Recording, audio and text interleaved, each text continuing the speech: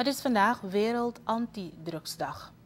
Op deze dag staan burgers in de hele wereld stil bij de gedachte aan de schade die veroorzaakt wordt door de productie, handel en gebruik van drugs en drugscriminaliteit.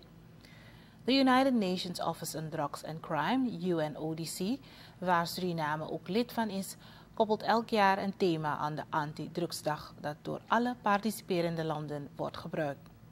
Dit jaar is het thema Listen First. Het heeft als onderliggende gedachte de preventieve aanpak van de drugsproblematiek. En dat kan middels voorlichting. Een belangrijk onderdeel bij effectieve communicatie is het luisteren, vandaar dat een thema is gekozen dat het luisteren benadrukt. De Nationale Antidrugsraad Suriname gebruikt haar uitvoerend bureau om elk jaar het voortouw te nemen in de activiteiten rond deze dag.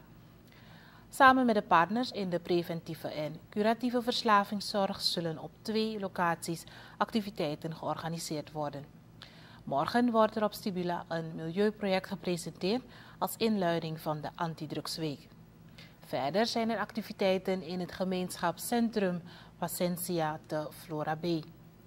Deze activiteiten, die elke dag om 4 uur beginnen, omvatten een politiedemonstratie, een sportdag en een minibeurs die voor iedereen kosteloos is.